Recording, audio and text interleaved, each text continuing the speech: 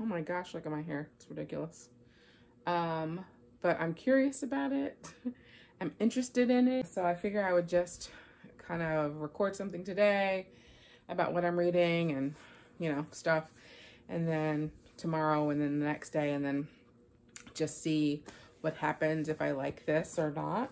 Um, we'll try it. So today is August 26th and it's about 9.30 p.m.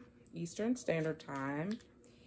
And um, so I had work, which is not very interesting. Although, I mean, for some people it is. But today it was mostly meetings and stuff.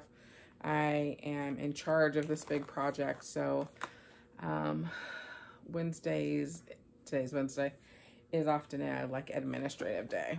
So, um, but I did, because my first meeting this morning was later in the morning, I did start a song below water um, by Bethany Morrow.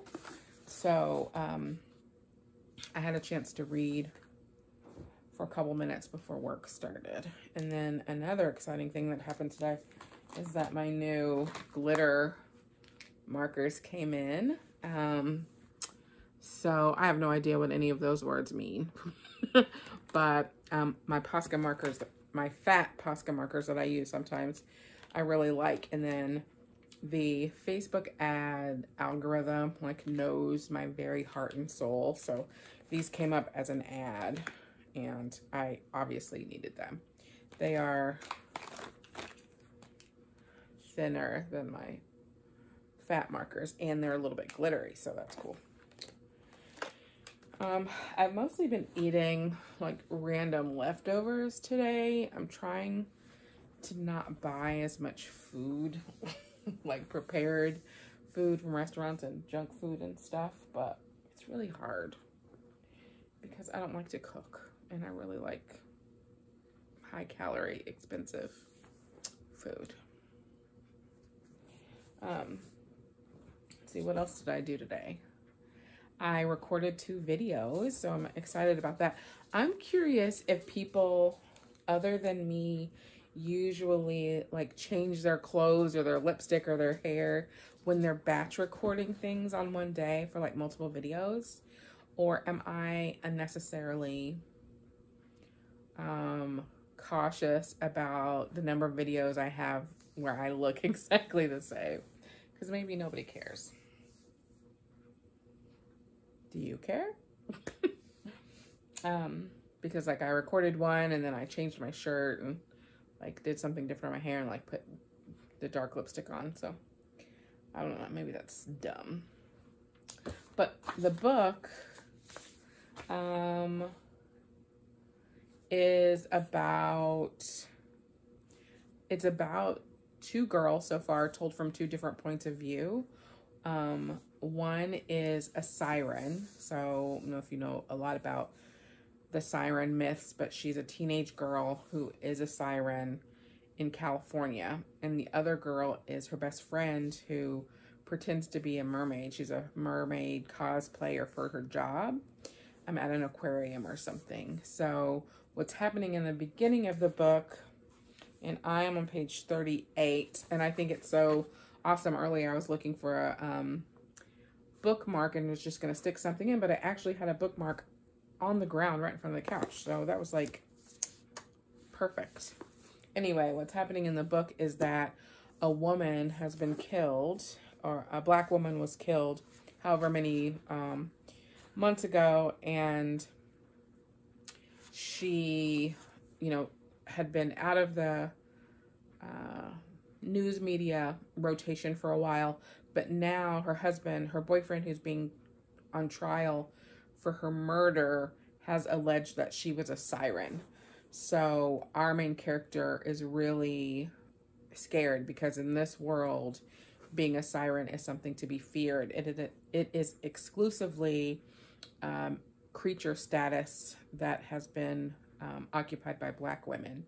So, you know, the book talks about how that has made it a less valuable um, thing and less protected and sirens are seen as angry and aggressive, um, e even if that is unwarranted. So um, I'm really liking it so far. I love mermaids and myths, and there are other mythical creatures that are represented here, and they don't have the negative reputation of sirens in this world.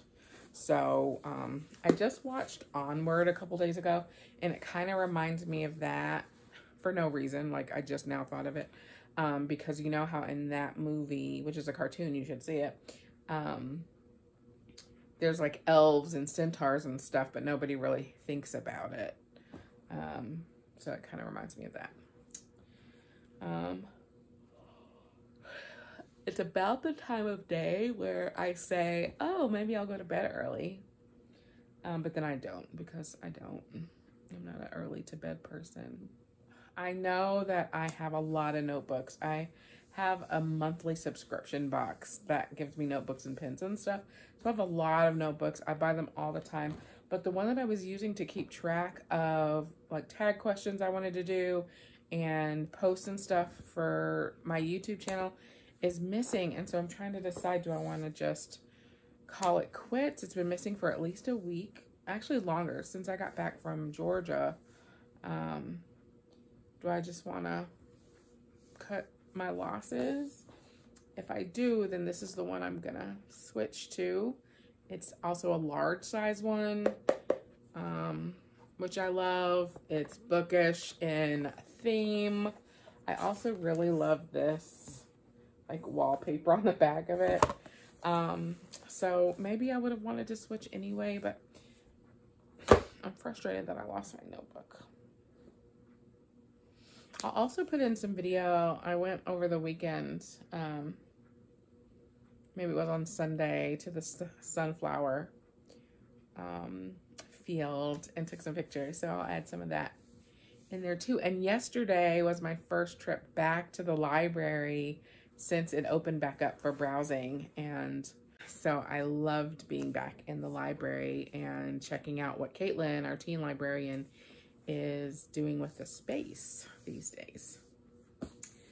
All right, so seven minutes and 50 seconds into my very first vlog and I'm not sure what I think about it yet.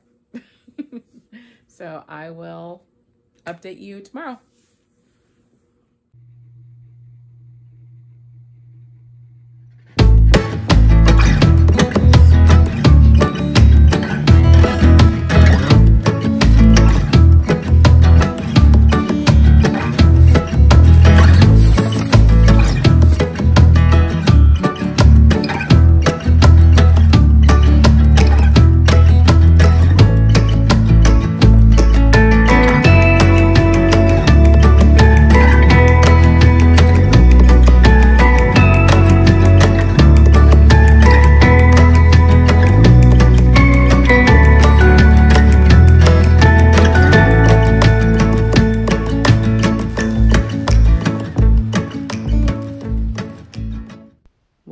Decided I need to use this new notebook, but this cover has got to go.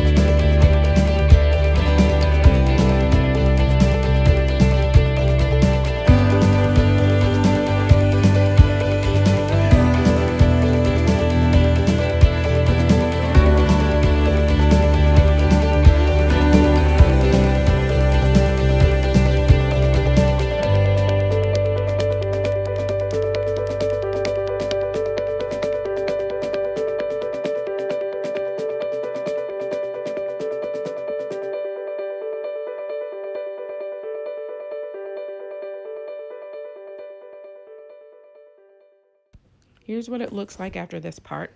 I did end up adding a little bit of paint and I did the back with stickers instead of this way. Hey, so it is now Sunday, August 30th, and the book I was reading this week in print is A Song Below Water, and I really enjoyed it. Um, I would probably say it's at least a four stars. Um, so I did finish the book. I'm also outside. As long as the sun stays behind these beautiful clouds, it feels really comfortable out here. So I'm hoping that it does that the whole time that I'm out here. Um, so uh, the two main characters are black um, teen girls in a world a lot like ours, but they're, they're creatures that are real and sort of live among among everyone. And if I were like a mythical creature of any kind, the last thing in the world I would be doing is going to high school, but that's just, that's just how this world is. In the world where they're living, there are also lots of protests related to um, police brutality and um, in particular a say her name movement.